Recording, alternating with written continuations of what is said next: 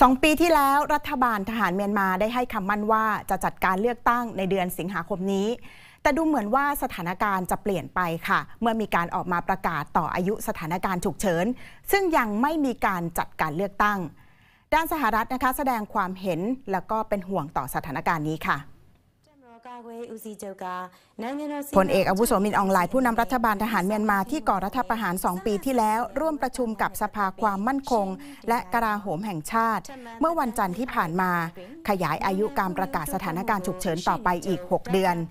นับเป็นการยืดอายุครั้งที่ 4 ตั้งแต่กองทัพก่อรัฐประหารเมื่อ 1 กุมภาพันธ์ ปี 2564 ขณะเดียวกันอ้างสถานการณ์ความไม่สงบในประเทศ เลื่อนการเลือกตั้งออกไปจากก่อนหน้านี้ รัฐบาลทหารเมียนมาประกาศเตรียมจัดการเลือกตั้งสิงหาคมนี้ การออกมาประกาศยืดอายุสถานการณ์ฉุกเฉินของกองทัพเมียนมาไม่เหนือความคาดหมาย โฆษกของรัฐบาลเอกภาพแห่งชาติเมียนมาระบุว่า เพราะรัฐบาลทหารไม่สามารถควบคุมกองกำลังฝ่ายเรียกร้องประชาธิปไตยได้